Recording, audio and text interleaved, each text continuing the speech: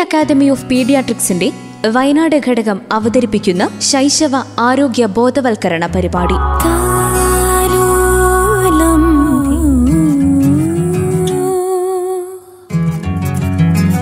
നിർവഹണം പ്രജിഷ രാജേഷ്. താലോലത്തിന്റെ പുതിയ അധ്യായത്തിലേക്ക് എല്ലാ പ്രിയ ശ്രോതാക്കൾക്കും സ്വാഗതം. ഇന്ത്യയിൽ ഓരോ വർഷവും മുപ്പത്തിമൂന്ന് ലക്ഷത്തോളം പേർ വയറിളക്കത്തിന് ചികിത്സ തേടുന്നതായാണ് ഔദ്യോഗിക കണക്ക്. ഇന്ത്യയിൽ ഒരു വർഷം എഴുപത്തി എണ്ണായിരത്തോളം കുട്ടികൾ വയറിളക്കം മൂലം മരണമടയുന്നു. ഇതിൽ തന്നെ അറുപതിനായിരം പേർ രണ്ട് വയസ്സിന് താഴെയുള്ളവരാണെന്ന വസ്തുതയും വളരെ ശ്രദ്ധ കേന്ദ്രീകരിക്കേണ്ട ഒരു വിഷയമാക്കി കുഞ്ഞുങ്ങളിലെ വയറിളക്കത്തെ മാറ്റിയിരിക്കുന്നു. ഇന്ന് താലോലത്തിൽ കുഞ്ഞുങ്ങളിലെ വയറിളക്കത്തെക്കുറിച്ച് മീനങ്ങാടി സാമൂഹികാരോഗ്യ കേന്ദ്രത്തിലെ ശിശുരോഗ വിദഗ്ധ ഡോക്ടർ നിമ്മി സംസാരിക്കുന്നത് കേൾക്കാം.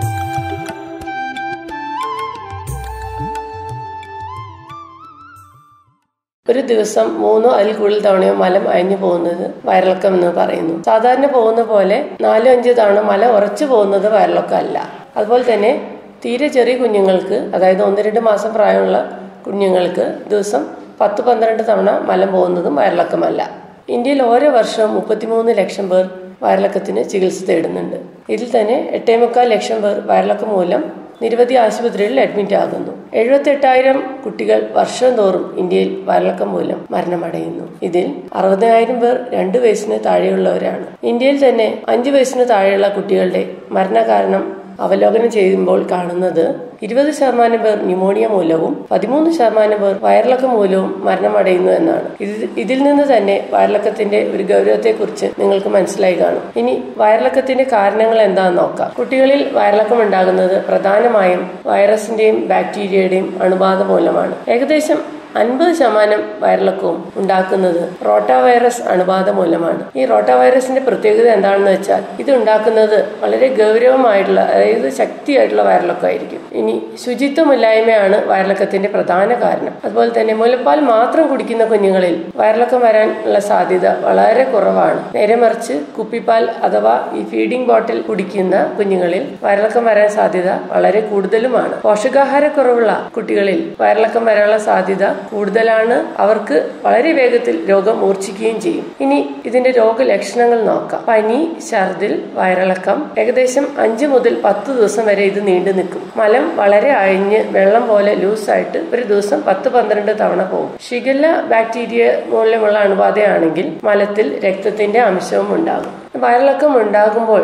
നമ്മുടെ ശരീരത്തിൽ എന്താണ് സംഭവിക്കുന്നത് എന്ന് നോക്കാം. വയറിളക്കം ഉണ്ടാകുമ്പോൾ നമ്മുടെ ശരീരത്തിൽ നിന്ന് ധാരാളം ജലാംശവും സോഡിയം പൊട്ടാസ്യം എന്നീ ധാതുക്കളും നഷ്ടപ്പെടുന്നു. ഈ ധാതുക്കൾ നമ്മുടെ കോശങ്ങളുടെയും കിഡ്നി ഹാർട്ട് എന്നിങ്ങനെ പല അവയവങ്ങളുടെയും പ്രവർത്തനത്തിന് അത്യാവശ്യമാണ്. ഗുരുതരമായ നിർജലീകരണം അഥവാ ഡീഹൈഡ്രേഷൻ ഉണ്ടാകുമ്പോൾ ഈ ജലാംശവും ധാതുക്കളും അമിതമായി നമ്മുടെ ശരീരത്തിൽ നഷ്ടപ്പെടുകയും ഇത്തരത്തിൽ ഉണ്ടാകുമ്പോൾ അത് നമ്മുടെ ശരീരത്തിനെ ശരീരത്തിന്റെ പ്രവർത്തനത്തെ സാരമായി ബാധിക്കും. തക്ക സമയത്ത് ചികിത്സ കിട്ടിയിട്ടില്ലെങ്കിൽ മരണം വരെ സംഭവിക്കും. വയറിളക്കം മൂലം നമ്മുടെ ശരീരത്തിൽ നിന്ന് ജലാംശം നഷ്ടപ്പെടുന്നതിനെ വെച്ച് നമുക്ക് ഇതിനെ മൂന്നായി തരംതിരിക്കാം. ഒന്ന് ജലാംശം അധികം നഷ്ടപ്പെടാത്ത അവസ്ഥ അല്ലെങ്കിൽ നോ ഡീഹൈഡ്രേഷൻ ഇങ്ങനെയുള്ള കുട്ടികൾക്ക് ഒരു ദിവസം മൂന്ന് നാല് തവണ വയറിളക്കം ഉണ്ടാകും. പക്ഷേ കുട്ടി ഉന്മേഷവാനാണ്. ജലാംശം അധികം നഷ്ടപ്പെട്ടിട്ടില്ല. ഇനി രണ്ടാമത്തെ നോക്കുകയാണെങ്കിൽ ചെറിയ തോതിൽ ശരീരത്തിൽ നിന്ന് ജലാംശം നഷ്ടപ്പെടുന്നു അഥവാ സം ഡീഹൈഡ്രേഷൻ ഇത്തരമുള്ള കുട്ടികൾക്ക് അമിതമായ ദാഹം ഉണ്ടാകും. അതായത് കുട്ടിക്ക് ഒ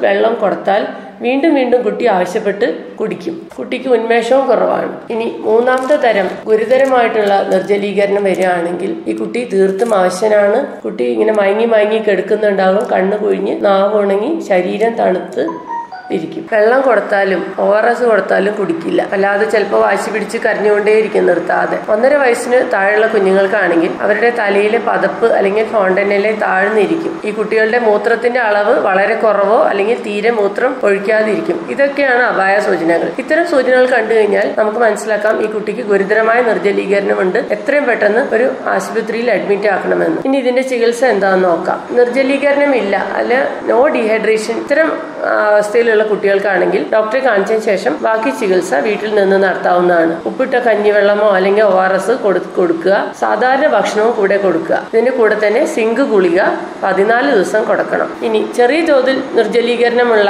കുട്ടികൾ അഥവാ സം ഡീഹൈഡ്രേഷനുള്ള കുട്ടികൾക്കാണെങ്കിൽ ആ കുട്ടികൾക്ക് അവരുടെ ശരീരത്തിൽ നിന്ന് പോയ ജലാംശ ധാതുക്കളും തിരികെ കൊടുക്കുന്നതിന് പാനീയ ചികിത്സ ആവശ്യമാണ്. ഇതിനായിട്ട് ഒ ആർ എസ് അല്ലെങ്കിൽ ഉപ്പിട്ട കഞ്ഞിവെള്ളം ഉപയോഗിക്കാം. ഇത് രണ്ടും നമുക്ക് കിട്ടുന്നില്ല. നമുക്ക് വീട്ടിൽ തന്നെയാണ്. ആശുപത്രിയിൽ പോകാനുള്ള സൗകര്യമില്ലെങ്കിൽ വീട്ടിൽ തന്നെ തയ്യാറാക്കുന്ന ഒരു ലായനിയെ കുറിച്ച് ഞാൻ പറയാം. ഇത് ഒരു ലിറ്റർ വെള്ളം എട്ട് ടേബിൾ സ്പൂൺ പഞ്ചസാര ഒരു സ്പൂൺ ഉപ്പ് എന്നിവ ചേർത്ത് ഉണ്ടാക്കുന്ന ലായനി ഒ ആർ എസിനെ പോലെ തന്നെ ഇരിക്കും. ഈ ഇത്തരം പാനീയ ചികിത്സ കൊടുക്കുമ്പോൾ നമ്മൾ പ്രത്യേകം ശ്രദ്ധിക്കേണ്ട ഒരു കാര്യം കുട്ടികൾക്ക് ഗ്ലാസ്സിൽ കൊടുക്കരുത്. സ്പൂൺ ഉപയോഗിച്ച് രണ്ട് മിനിറ്റ് രണ്ട് മിനിറ്റ് കൂടുമ്പോൾ വായിൽ കൂടെ കൊടുക്കുക. ഇനി ഈ ഒ ആർ എസ് അല്ലെങ്കിൽ നമ്മൾ ഈ കഞ്ഞിവെള്ളം കൊടുക്കുന്നത് ഒരു പ്രത്യേക അളവിലായിരിക്കണം. അത് എങ്ങനെയാണെന്ന് ഞാൻ പറയാം. രണ്ട് വയസ്സിന് താഴെയുള്ള കുട്ടികളാണെങ്കിൽ അമ്പത് M L O R S അതല്ലെങ്കിൽ കാൽ ഗ്ലാസ് ഒ ആർ എസ് രണ്ട് മുതൽ ആറ് വയസ്സ് വരെയുള്ള കുട്ടികളാണെങ്കിൽ നൂറ് M L O R S അല്ലെങ്കിൽ അര ഗ്ലാസ്. ഇനി ആറ് മുതൽ പത്ത് വയസ്സ് വരെയാണെങ്കിൽ ഇരുന്നൂറ് M L O R S അല്ലെങ്കിൽ ഒരു ഗ്ലാസ്. ഇത് ഇരുപത് മിനിറ്റ് കൂടുമ്പോൾ കൊടുത്തുകൊണ്ടേയിരിക്കണം ഒരു നാല് മണിക്കൂറോളം. ഗുരുതരമായ നിർജലീകരണമുള്ള കുട്ടികൾക്ക് അഡ്മിറ്റ് ആക്കി മാത്രമേ ചികിത്സ കൊടുക്കാൻ പാടുള്ളൂ. ഇത്തരം കുട്ടികളെ അഡ്മിറ്റ് ആയി ഐ വി ഡ്രിപ്പ് വഴി റിംഗർ ലാക്ടേറ്റ് അല്ലെങ്കിൽ നോർമൽ സെലൈൻ എന്നി- എന്നിങ്ങനെയുള്ള മരുന്നുകൾ കൊടുക്കണം. കുട്ടിയുടെ സ്ഥിതി മെച്ചപ്പെട്ടാൽ ഈ ഡ്രിപ്പിന്റെ കൂടെ തന്നെ ഒ ആർ എസും സിങ്കും നേരത്തെ പറഞ്ഞ അളവിൽ കൊടുക്കണം. വയറിളക്കം പ്രധാനമായി വൈറസ് അണുബാധ മൂലം ആയതുകൊണ്ട് ആന്റിബയോട്ടിക് കൊടുക്കുന്നത് ഫലപ്രദമാകുകയില്ല മലത്തിൽ കൂടി രക്തം പോകുമ്പോൾ മാത്രമാണ് ആന്റിബയോട്ടിക് കൊടുത്താൽ ഫലപ്രദമാകുന്നത്. ഞാൻ നേരത്തെ പറഞ്ഞല്ലോ റോട്ട വൈറസ് മൂലമുള്ള വയറിളക്കം ആണ് കുട്ടികളിൽ കൂടുതൽ അമ്പത് ശതമാനത്തോളം കാണുന്നതെന്ന്. അപ്പൊ ഈ റോട്ട വൈറസ് മൂലമുള്ള വയറിളക്കം തടയുന്നതിന് പ്രതിരോധ തുള്ളിമരുന്ന് ഫലപ്രദമാണ്. ഇത് ഇപ്പോൾ പ്രൈവറ്റ് ആശുപത്രികളിൽ ലഭ്യമാണ്. വളരെ ഉടനെ തന്നെ ഇത് ഗവൺമെന്റ് ആശുപത്രികളിലും ഇത് സൗജന്യമായിട്ട് ലഭിക്കുന്നതായിരിക്കും. ഇനി വയറിളക്കത്തിനെ കുറിച്ചുള്ള കുറച്ച് തെറ്റിദ്ധാരണകൾ പറയാം. അമ്മമാർ വിചാരിക്കുന്നത് വയറിളക്കം വരുമ്പോൾ കുട്ടികൾക്ക് അധികം ഭക്ഷണം കൊടുക്കാൻ പാടില്ല. അത് നന്നല്ല എന്നാണ്. ഒരിക്കലും ശരിയല്ല. വയറിളക്കം ഉള്ളപ്പോഴും കുട്ടികൾക്ക് കുറുക്ക് കഞ്ഞി ചോറ് ഇഡലി തുടങ്ങിയ ഭക്ഷണങ്ങൾ കൊടുക്കണം. ഇതിന്റെ കൂടെ ഒ ആർ എസ് കഞ്ഞിവെള്ളം കൂടെ കൊടുക്കണമെന്ന് മാത്രം.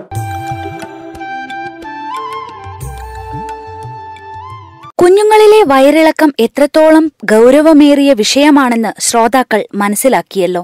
ശുചിത്വമില്ലായ്മയാണ് കുഞ്ഞുങ്ങളിലെ വയറിളക്കത്തിന് പ്രധാന കാരണമെന്നും മനസ്സിലാക്കി. ഇന്ന് കുഞ്ഞുങ്ങളിലെ വയറിളക്കത്തെക്കുറിച്ച് നമ്മോട് സംസാരിച്ചത് മീനങ്ങാടി സാമൂഹികാരോഗ്യ കേന്ദ്രത്തിലെ ശിശുരോഗ വിദഗ്ധ ഡോക്ടർ നിമ്മി. മറ്റൊരു വിഷയവുമായി നാളെ ഇതേ സമയം താലോലം വീണ്ടുമെത്തും. അതുവരേക്കും നന്ദി നമസ്കാരം.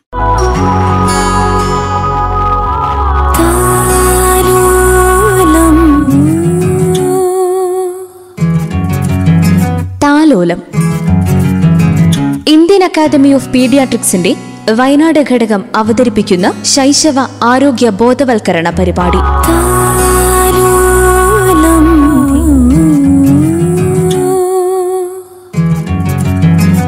നിർവഹണം പ്രജിഷ രാജേഷ്